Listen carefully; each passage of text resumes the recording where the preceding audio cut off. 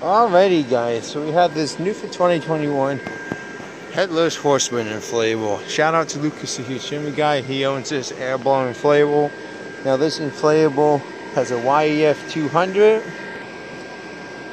It has a tinsel here and it has a new type of fabric here behind the cape, just like the carriage. The head does move on the horse. It has 67s. It has a kaleidoscope on the head. Um, it's got this different kind of fabric here. It feels the same. It's got two tether attachments there, and one on each side of the tombstone. It's got one there, one there on the brown base. Um, this is actually on clearance now for 85 bucks. Retails 130, which is why I grabbed it. I just have it on the porch now, just for one night.